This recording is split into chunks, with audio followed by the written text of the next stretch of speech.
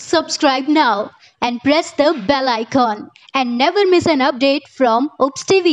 ਜਿਹੜੇ ਬੰਦੇ ਨੇ ਜਸਵਿੰਦਰ ਭੱਲਾ ਨਾਲ ਕੰਮ ਕੀਤਾ ਹੈ ਤਾਂ ਉਹਨੂੰ ਜਸਵਿੰਦਰ ਭੱਲਾ ਤੋਂ ਇਹ ਕੰਪਲੇਂਟ ਰਹਿੰਦੀ ਹੈ ਇਹ ਜਸਵਿੰਦਰ ਭੱਲਾ ਖੁਦ ਵੀ ਜ਼ਿਕਰ ਕਰਦੇ ਹੁੰਦੇ ਆ ਕਿ ਅਹ, ਇਹਨੂੰ ਇੱਕ ਲਾਈਨ ਦੰਨੇ ਆ 10 ਬਣਾ ਲੈਂਦਾ ਬਿਲਕੁਲ!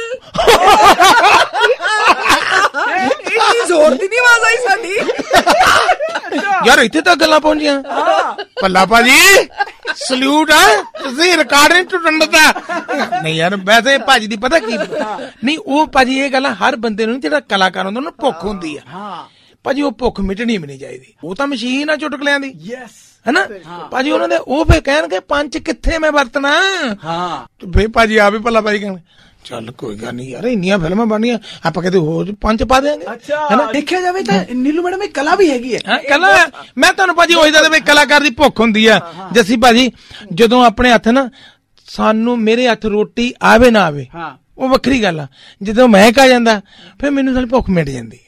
ਜਦੋਂ ਮੈਂ ਆਪਣਾ ਰੋਲ ਸੋਧਦਾ ਜਾਂ ਕੁਝ ਕਰਦਾ ਜੇ ਇੱਕ ਪੇਜ ਦਾ ਹੁੰਦਾ ਵਾਕਈ ਉਹ ਡੇਢ ਦੋ ਦਾ ਤਾਂ ਬਣਦਾ ਹੁੰਦਾ ਫਿਰ ਜਿਹੜੇ ਪ੍ਰੋਡਿਊਸਰ ਡਾਇਰੈਕਟਰ ਹੁੰਦੇ ਉਹਨਾਂ ਨੇ ਕੱਟ ਵੱਧ ਕਰਨੀਆਂ ਸ਼ੋਅ ਦਾ ਉਹ ਵੀ ਦੇਖਣਾ ਵੀ ਸਾਡੇ ਕੋਲ ਜਿਹੜੀ ਫਿਲਮ ਲੰਮੀ ਨਾ ਹੋ ਜਵੇ ਹਾਂ। ਕੱਟ ਕਰਨੀ ਪੈਂਦੀ ਆ ਹਾਂ। ਫਿਰ ਜਦੋਂ ਪੰਜ ਕੱਟ ਹੁੰਦੇ ਆ ਨਾ ਫਿਰ ਐਂ ਲੱਗਦਾ ਵੀ ਦਿਲ ਤਿਆਰੀ ਚੱਲਦੀ। ਓਏ ਹੋਏ ਉਹ ਉਹ ਨਹੀਂ ਮੇਰਾ ਕੱਟਣ ਨੂੰ ਜੀ ਕਰਦਾ ਹੁੰਦਾ। ਇਸੇ ਤਰ੍ਹਾਂ ਨਵਨੀਤ ਨਿਸ਼ਾਂਤ ਨੇ ਜਿਹੜੇ ਆਰਟਿਸਟ ਨੇ ਮੈਂ ਕੀ ਨਾਮ ਉਹਨਾਂ ਦਾ ਬੰਬੇ ਤੋਂ। ਤੇ ਮੇਰੀ ਵਾਈਫ ਦਾ ਰੋਲ ਕੀਤਾ ਉਹਨਾਂ ਨੇ ਆਰਐਸਬੀਪੀ ਰੋਣ ਦੇ ਸਾਰੇ ਵਿਆਹ ਪਿੱਛੋਂ। ਹਾਂ ਹਾਂ ਮੈਂ ਅੱਛਾ ਹਾਂ ਮੇਰੀ ਵਾਈਫ ਦਾ ਰੋਲ ਕੀਤਾ ਤੇ ਉਹਨਾਂ ਨੇ ਫਸਟ ਟਾਈਮ ਮੈਨੂੰ ਦੇਖਿਆ ਕੰਮ ਕਰਦੇ ਨੂੰ ਵੀ ਬੈਠ ਕੇ ਕੀ ਕਰਦਾ ਰਹਿੰਦਾ ਸ਼ੂਟਿੰਗ ਦੌਰਾਨ। ਉਦੋਂ ਪਹਿਲਾਂ ਪਿੱਛੋਂ। ਤੇ ਉਹਨਾਂ ਨੇ ਜਾ ਕੇ ਕਮੈਂਟ ਫਿਰ ਉੱਥੇ ਬੰਬੇ ਕਿਸੇ ਆਰਟਿਸਟ ਨੂੰ ਦਿੱਤਾ।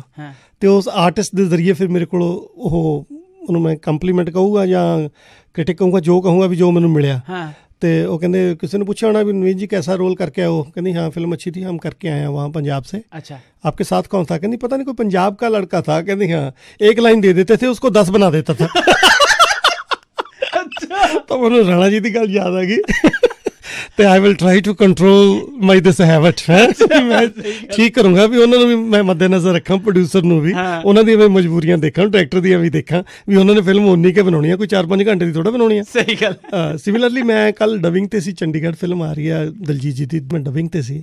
ਤੇ ਜਦੋਂ ਮੈਂ ਫਿਲਮ ਡਬ ਕਰ ਰਿਹਾ ਸੀਗਾ ਤੇ ਆਰੀਆਂ ਵੱਜ ਰਹੀਆਂ ਸੀ ਦਿਲ ਤੇ ਉਹੀ ਗੱਲ ਹੋ ਗਈ ਨਾ।